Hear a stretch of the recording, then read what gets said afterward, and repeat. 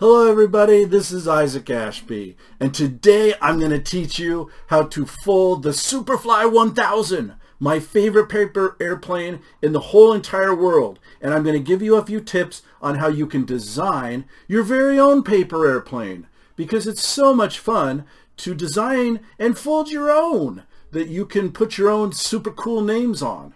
So now I am going to show you how to fold the Superfly 1000 so that you can fly it and have some fun. So without further ado, folding the Superfly 1000.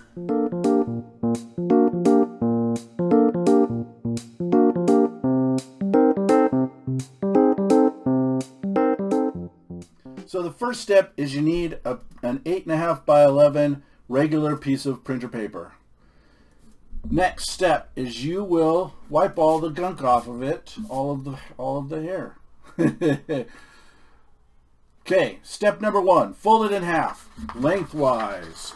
Now try to be as precise as possible as you make these folds.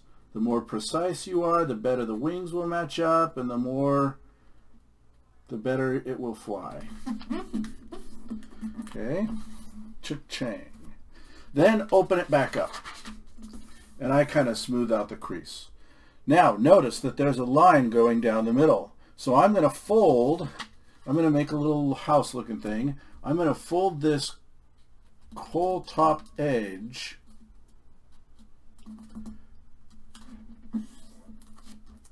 just like that Okay, did you see? I folded it so that this top edge here met this center line all the way down.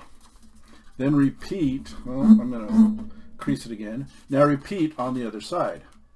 And if you did a good job, the two ends, the two corners should match up. And mine are pretty, pretty close. Okay, there we go. So we got two now it looks kind of like a little house. Next step is to fold it down. We're going to take and we're going to fold the roof down, making sure that the point down here is right on the center line. Just like that. It should look like an envelope now. Now we're starting to take shape. Okay, so take two fingers, oops, wrong way, and I am going to fold this corner to the center line, well, about two fingers width away, or maybe a little less for me because I got huge chubby fingers. Okay, so there's a so it's about two inches, or not two inches. It's about two fingers width from this point of the triangle to where the corner touches the center line. Then we'll repeat the other side, where both corners will meet at the same point. Just like that. Okay, next step is to fold the triangle up. This is a flap that will hold the wings in place. Will hold the folds in place that you just made. Just like that. Next step, flip your plane over and to the side and fold it backwards on that center line. It should be really easy because we've already folded that before. So it'll look just like this. Right down the middle. Okay. Now we are going to fold. This part is a little more tricky, so watch first. We are going to fold this so that this side matches up with the bottom here. So I am going to fold it a like this so it matches up to the bottom and then crease it.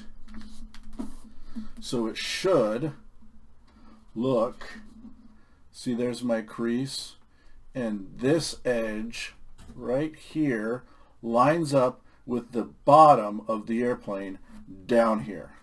Then flip your plane over and repeat that process.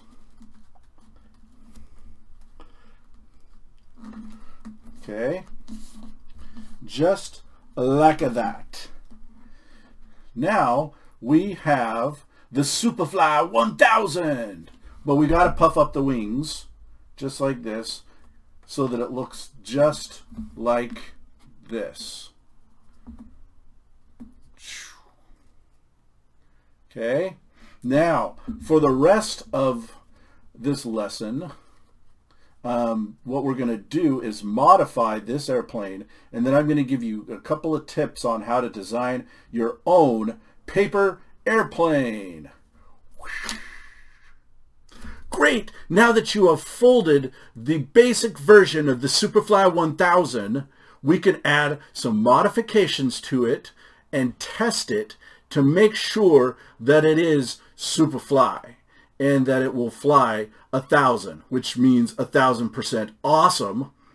So take your paper airplane. So this is what we've folded so far, right? It is nothing more than um, this is the this is what we call the base or the stock model. We have to add some variations to it so that it will fly awesomeness.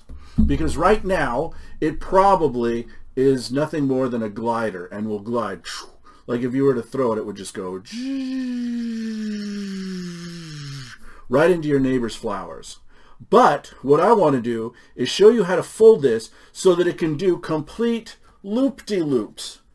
In fact, I've, I um, have made these so well sometimes, or I make them so well sometimes, that when I throw them, they will do a complete loop-de-loop -loop and come and land right back in my hand. That isn't that awesome? And I'm not talking like three or four foot loops. I'm talking 20 feet high in the air. They will fly and come around and land in my hand. Pretty neato, huh? So uh, if you've got some paper clips, you you only need like two or three, maybe four paper clips for this. Uh, whatever floats your boat, or puts wind in your sails, or whatever, or puts um, rice in your rice cakes. Okay, that was a that was a dumb one. Okay, so what we want to do is we want to understand how weight affects an airplane. So in order to do that, we need to understand something called the angle of attack. Now, when we throw a paper airplane, and it there's several things it can do. It can dive to the ground, it can glide, or it can go up and do loop-de-loops, or in extreme cases, it can flip on its back like this and then fall to the ground. That is actually fairly common among new paper airplane folders is their airplane will just go whoop, epic fail. Oh, epic fail.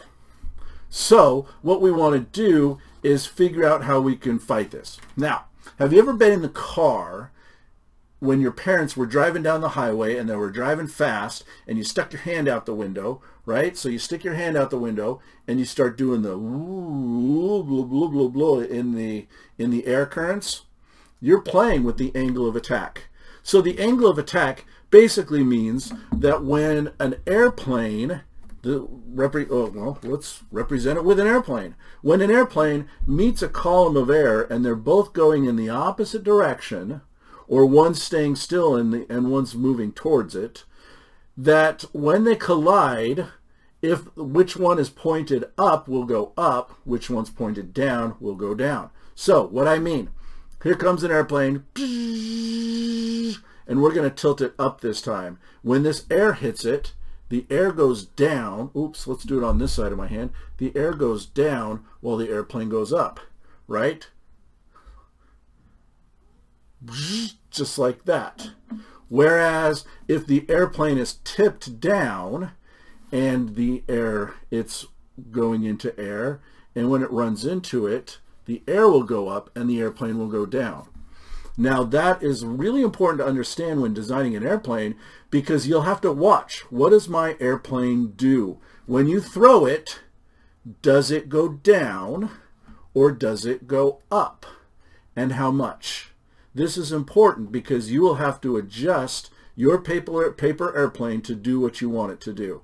If you want it to do loop-de-loops and you throw it but it goes straight down to the ground, then your angle of attack is like this. So you've got to figure out how to weight your airplane differently to bring the nose up. How do you think you would do that?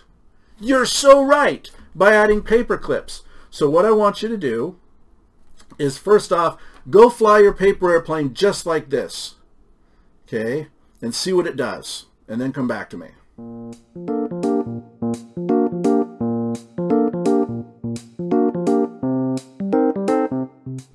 All right, now that you're back, um, now I want you to try putting paper clips on the back tail, maybe, if I can get it on there without messing up my airplane, on the back of the paper airplane. Just like this. Now go fly it and see what happens.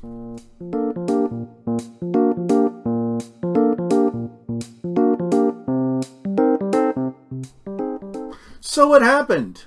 You are absolutely right. What that did is it brought the tail down because it's now heavier and it changed the angle of attack. So if your airplane was gliding like this before, it's probably going to do this now and go up. Now, depending on how much weight you added, you probably overloaded it and it will just go up like this and then stall and fall to the ground. So the same thing happens like what if you put the paper clips on the front? You guessed it. You, I think you are, you're so smart because it's just what you think is now the nose is going to be heavy and it's going to crash. It's going to force that airplane. It's, remember, angle of attack. It's going to tip it down and when you throw it, it's going to, that weight's going to tip and it's going to hit that air and it's going to force it into the ground. So as you design paper airplanes, that's what you're going to watch for. Is, is it going up or is it going down? And then you're going to want, want to add or take away weight according to what it's doing so that it will fly the way you want it to. And there you go. There's some tips for designing your own. Now, without further ado, I'm going to end this video by giving you, by showing you how to beef up the Superfly 1000, 1000, 1000, 1000. Okay, so we're going to take this scissors and we are going to clip. We're going to take, once again, I I have chub's fingers, chubby fingers. Yeah, I just call them chubs or nubs. Okay, I'm going to take one finger width from the back of the airplane and I'm going to, uh, so I'm going to go in about one finger width. For little small fingers, you could do two. And I'm going to go about three quarters the way up the plane. Okay, just like this. So you see, I'm going to have to hold it a little closer. So I have this little flap. I just, okay. Now I'm going to open up the airplane just like this and I'm going to push this little flap up and I'm going to pinch it at the top and then I'm going to close it and pinch it where it folded up so that it creates this nice little mountain peak right there. Can you guys see that? I hope you can see that. Okay, so this is what it'll look like from all angles. I know with the white paper it kind of loses definition. It's but that's what it'll look like. Okay, that'll give it some stability. Next, what we want to do is, well, it also makes it look really cool. It doesn't affect the flight nearly as much as the next thing. This next thing is a way to increase lift without adding weight because it changes the balance and it forces the air to do funny things to it that lifts the nose a little bit. And depending on how you fold these tail these tail fins, it will make it go up or down. Okay, so you're going to take this edge right here and you're going to fold it up. I know you can't see it because I took it from, we're no longer in top view, but I'll just fold it on the table. Okay, so right here. Okay, and I'm going to fold the other side up.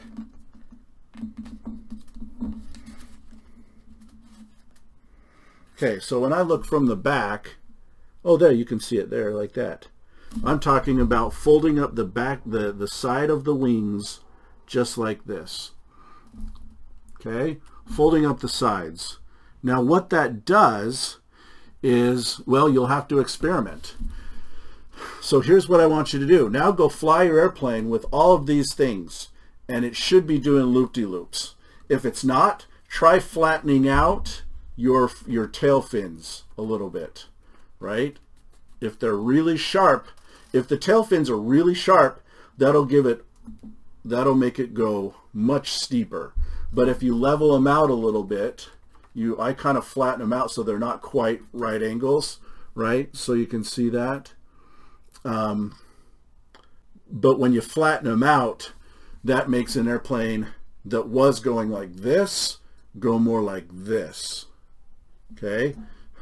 Or you could even fold them down. But the point is to, is to go experiment. Your challenge for today is to design a paper airplane that will fly super awesome. Now, I'm not telling you it has to do loop-de-loops. Maybe you want to do a glider. Maybe you want to do one that does cool tricks and things. But you are to design your very own paper airplane. Are you up to the challenge? Sweet. Awesomeness. So there you have it. Some tips on designing your own paper airplane with a challenge to go design your own paper airplane and an instruction tutorial on how to fly and how to how to fold and fly the Superfly 1000 1,000, 1,000. thousand thousand. I hope you guys had a fun time today and will enjoy flying paper airplanes. This is Isaac Ashby saying so long folks.